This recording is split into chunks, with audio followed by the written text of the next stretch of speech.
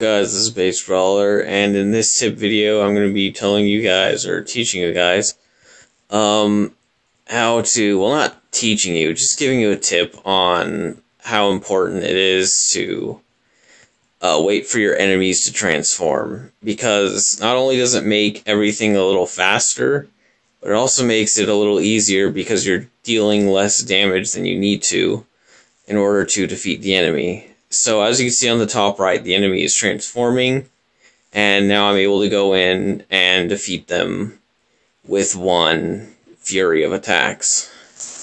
So yeah, I hope you guys like this tip, um, and I hope you guys enjoyed the video, and I hope this was useful. So see you guys in the next one.